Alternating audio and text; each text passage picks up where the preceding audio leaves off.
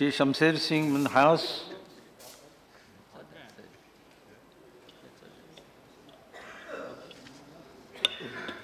Respected chair हम काफ़ी देर से जम्मू कश्मीर के मुतालक चर्चा विचार हो रहा था हमारे बड़े भाई वरिष्ठ नेता आज़ाद साहब ने जिस प्रकार से इस बात को कश्मीर के पर चिंता जताई और जम्मू कश्मीर का दर्द जिस प्रकार दिखाया गया, इसमें वास्तविकता सच्चाई क्या है उस पर आना चाहिए। हम सब जानते हैं कि जिस प्रकार जम्मू कश्मीर एक संवेदनशील प्रदेश है, वहाँ की समस्या आज की नहीं, नब्बे की नहीं जब जन के देश जो आज़ाद हुआ था उन्नीस में, तब से ये समस्या नित्य प्रतिदिन कोई ना कोई बात लेकर हमेशा आती रही है। नित्य प्रतिदिन वहाँ पे कुछ ना कुछ होता रहा, क्योंकि हम जानते हैं कि जिस प्रकार कोयलियों द्वारा कश्मीर में हमला और हमला होने के उपरांत इस कश्मीर को बचाया गया, जम्मू भारत के साथ मिलाया गया तब से पाकिस्तान की निगाह जम्मू पर है, जम्मू कश्मीर पर है। वो किस प्रकार जम्मू कश्मीर को देखता है, हम सब देखते हैं। सरकारें कहीं आई होंगी, कहीं गई होंगी। देश की सरकारें भी आई होंगी, प्रदेश की सरकारें भी आई होंगी मिली जुली सरकारें भी बनी होंगी। हम सच जानते हैं कि वहाँ कोई ना कोई समस्या हमेशा उत्पन्न होती रही है। तिरपन में सरकार इनके बदली जब बनी पहली सरकार थी। और उसके बाद उन्नीस सौ चौंसठ उन्नीस सौ तिरसठ में शायद कांग्रेस की सरकार बनी होगी। और स्मूथली कुछ चीज़ें संभलना शुरू हुई थी। बीच में उन्नीस सौ चौहत्तर में द्वारा सरकार बदलने के बाद एक नेता को लाया गया। और लगातार फिर उन्नीस सौ तिरासी से लेकर आज तक जिस प्रकार का सारा वातावरण अगर हम इतिहास को खोलने की कोशिश करें, इतिहास को खंगालने की कोशिश करें तो हम सबके ध्यान में आया कि उन्नीस सौ तिरासी से लेकर आज तक वहाँ पे हुआ क्या है। कश्मीर जला क्यों है? जम्मू कश्मीर में समस्याएँ उत्पन्न क्यों हुई हैं? जम्मू कश्मीर में समस्या लाने वाला कौन था? वो व्यक्ति सारे सामने आ जाते हैं। वह केवल एक दल की बात नहीं किसी एक पार्टी की बात नहीं एक व्यक्ति की बात नहीं। वो उसमें बहुत सारी चीज़ें मिली जुली हैं। इसलिए मैं कहता हूँ जब इस देश के जब प्रदेश के बारे में विचार किया जाएगा तो सेंसिटिव स्टेट होने के नाते इस पर विचार उसी प्रकार से होना चाहिए जैसे बाकी देश से नहीं हम की कर सकते बाकी प्रदेशों में नहीं कर सकते। इसका अलग प्रकार से विचार करना होगा अलग प्रकार से सोचना होगा। वहाँ पे हमारी कितने देशों के साथ हमारी सीमाएँ लगती हैं। वह देश किस प्रकार हम पे यानी के हमलावर हैं, किस प्रकार के जातियाँ कर रहे हैं, किस प्रकार की वारदातें कर रहे हैं, और किस प्रकार के वो अंजाम देने पर लगे हुए हैं, इन सब चीज़ों पर भी हमें देखना होगा। जहाँ पे बैठकर हम चर्चा करते हैं, बहुत सारे बंधु जम्मू कश्मीर से वाबस्ता भी होंगे, हम डेलीगेशन में गए होंगे, वहाँ पे बात भी सुनी होगी। और कई चीज़ें मैं सुनने में को देख रहा हूँ कि किस प्रकार के वहाँ के नौजवान हैं, उन पर जातियाँ होती हैं। मैं मानता हूँ कि जातियाँ होती होंगी, लेकिन जातियाँ होती क्यों हैं, वो भी सोचना पड़ेगा। आज वहाँ पर सरकार जो बनी है प्रदेश में, और जहाँ की सरकार जो बनी है, किस प्रकार क्या हालात पे काम इनके ठीक करने का प्रयास नहीं कर रहे। वो क्या हाथ पे हाथ धरी हुई बैठी हुई है? ऐसी बात नहीं है। क्योंकि पहले भी इस प्रकार मैं कहता 2008 2010 की वारदातों ने जिस प्रकार का अंजाम लिया वो हम सब देख चुके हैं। और उन सब चीज़ों के बारे में जैसे सुबह ही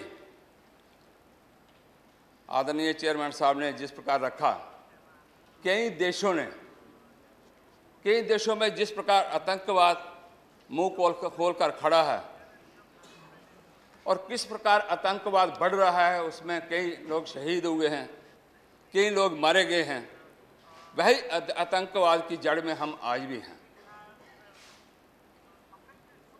हमसे ज़्यादा शायद इस हाउस में हमारे बड़े बुज़ुर्ग नेता डॉक्टर करण सिंह जी, जो इस परिवार के साथ जुड़ा, जिनका एक राज्य होता था, महाराजा हरि सिंह जी के वो पुत्र हैं। वह भली बात जानते हैं कि सारी चीज़ें किस, कैसे कैसे हुई। मैं तो सुनने के लिए था, शायद वो लंबा बोले वह विस्तार से बोले, चर्चा करेंगे।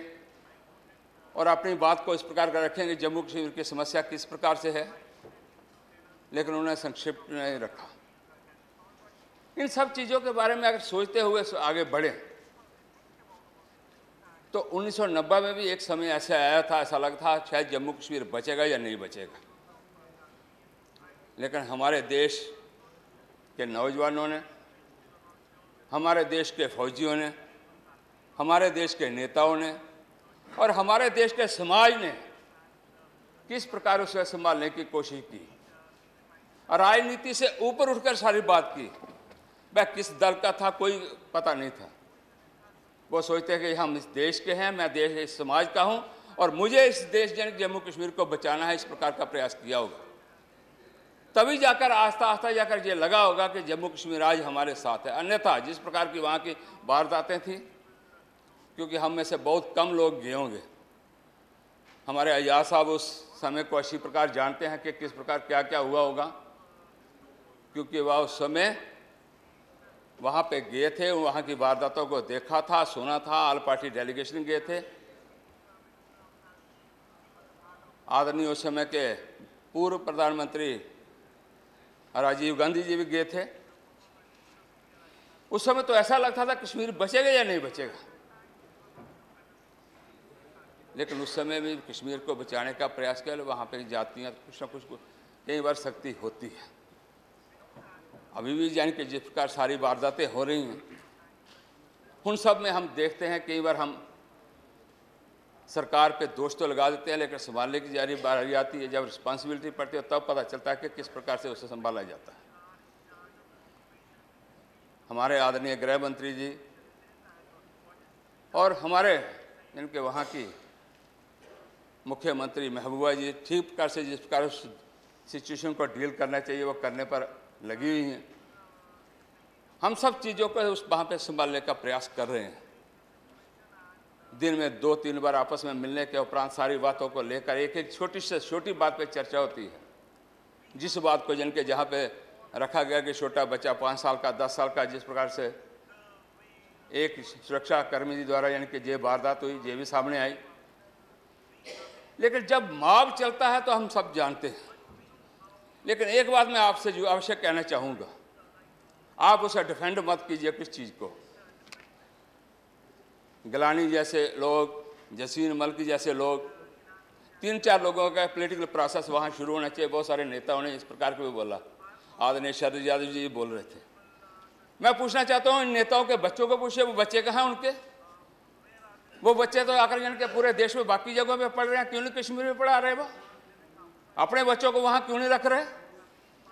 अपने बच्चों को तो सेफ़ साइड के सुरक्षित जगहों पर रखा हुआ लेकिन वहाँ मार खाने के लिए वहाँ गरीब का बच्चा रहे? और किस प्रकार से वहाँ एक्सप्लाइट किया जाता है, कैसे पत्थर दिए जाते हैं पैसों के आधार पर? तीन सौ रुपया, चार सौ रुपया प्रतिदिन आप पत्थर उठाओ और पत्थर फेंको। इस प्रकार की वारदातें करवाने के लिए कौन लोग हैं? इसलिए मैं कह रहा हूँ, राजनीति से ऊपर उठकर हम उठें और चर्चा करें। अगर जम्मू कश्मीर जन के जिस प्रकार कहा गया कि पूरा शरीर है और शरीर के कहीं कोई चीज़ चुभन होती है तो चुभन पूरे शरीर को महसूस होती है। अगर जम्मू कश्मीर में कोई बात हो रही है तो पूरे देश को यानी कि इस प्रकार से लगना चाहिए, गलत हो रहा है। गलत को गलत कहिए, सही को सही कहना चाहिए। लेकिन कई बार ऐसी बातें हम कहते नहीं हैं। बहुत अच्छा लगा पिछले दिनों यानी कि बाद अयाज साहब का बयान भी आया था कि जो आतंकवादी है, उसे सख्ती से निपटना चाहिए, अगर मारा जाता है तो उसे मरना भी चाहिए। जो बात उन्होंने रखी लेकिन ऐसे भी ट्वीट किया जाता है हमारे मुख्यमंत्री द्वारा। गलती पे गलती निकालने पे उतारू है, कभी उन्होंने ठीक करने की कोशिश नहीं की, ना बताया गया कि इसे ठीक किया जाए। मैं उनका नाम नहीं लेना चाहता क्योंकि वो सदन के सदस्य नहीं है। इसलिए उन नेताओं के बारे में सोचना पड़ेगा। हम सब जन के जहाँ पर जिस बात की चर्चा करने के लिए जहाँ पे बैठे हुए हैं, वह चर्चा है जम्मू कश्मीर कैसे बचे। जम्मू के समाज को कैसे वहाँ पे शांति हो। वह शांति आज से नहीं, ये दो सालों में हम इस सरकारें जो बनी हैं, इस समय की नहीं है। अशांति कई वर्षों पुरानी वहाँ गई हुई है, कभी आती है, कभी ये नहीं आती है। दूसरा प्रश्न रखा गया कि वहाँ पे शायद भाजपा को जम्मू कश्मीर, जम्मू में लोग जो जो हैं, कश्मीर के लोग चाहते नहीं थे। मैं चाहता हूँ इस प्रकार का आंकड़ा निकाला जाए तो चार से लेकर पाँच लाख तक टूरिस्ट यानी कि टूरिस्ट आया होगा वहाँ पे। आदरणीय आज़ाद साहब, मुख्यमंत्री जी, वहाँ एक ट्यूलिप गार्डन बना हुआ है। विभिन्न प्रकार के फूल वहाँ पे हैं। अगर वहाँ गए होंगे तो दो लाख से ज़्यादा संख्या वहाँ गई होगी, इसी वर्ष कह रहा हूँ मैं। अगर हम गुलमर्ग के स्थान पर देखें, गुलमर्ग में जगह नहीं थी इस बार जाने के लिए, इस प्रकार का इतना टूरिस्ट देश से गया। ऐसी बात नहीं है, लेकिन कुछ लोगों को कुछ चीज़ें सुहाई नहीं जाती। आँखों में चुभन हो जाती है, हो, ये हो रहा है। ये तो शांत हो गया, पूरा देश जल के ठीक प्रकार से चल पड़ा। जम्मू कश्मीर बिल्कुल शांति की और राह पर चल पड़ा। कहीं कि जहाँ का समाज जो है, वो उसका भविष्य जो है अच्छा ना चल पड़े, वो उज्जवल ना हो जाए। तो इस प्रकार की हैं उस समय पर ने कहा, ये दे एक केवल जम्मू कश्मीर के साथ जिस प्रकार की सीमाएँ जुड़ी हैं, वह लोग नहीं चाहते जो दूसरे देश के हैं, कि जम्मू कश्मीर में शांति को बहाली किया जाए। इसलिए बहुत ही मैं कहता हूँ, जहाँ आग्रह करता हूँ, कि पूरा हाउस यानी कि जिस प्रकार जुनानी में से उन्नीस सौ चौरानवे का प्रस्ताव आया था कि जम्मू कश्मीर भारत का अभिन्न अंग है और हमारे यानी कि अभिन्न अंग के तौर पर कोई देख नहीं सकता, भारत के साथ जुड़ा हुआ है, अगर कोई समस्या है तो केवल पीओके की है। तो इसी प्रकार के होश को मानते हुए आगे बढ़ना चाहिए। फिर बात में बीच में कैसे बात आती है, कैसे बातें उठती हैं, इन सबको दरकिनार करते हो, करते हुए हम जिस प्रकार के कि केवल लोग उसकी तरफ़ जाते हैं या जा, भाजपा को नहीं चाहते ऐसी कोई बात नहीं। सरकारें ठीक से चल रही हैं सरकारें ठीक से काम कर रही हैं और आने वाले दिनों में सरकारें ठीक हैं लेकिन हम सब मिलकर अगर कोई उसमें और वृद्धि करनी हो कोई बात करनी हो तो हम सब बैठ कर कर सकते हैं। इतना ही मुझे कहना धन्यवाद।